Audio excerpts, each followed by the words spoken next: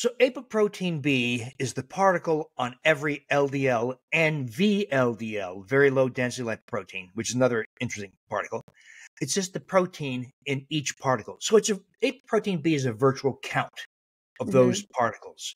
So if your uh, if your apoprotein B say is 150 milligrams per deciliter, what does that tell you? It just tells you you got lots of particles, but it doesn't tell you how you got them.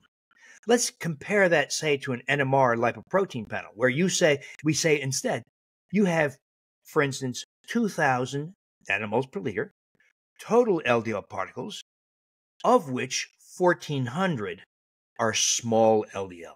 So 1,400 out of 2,000. What does that tell you?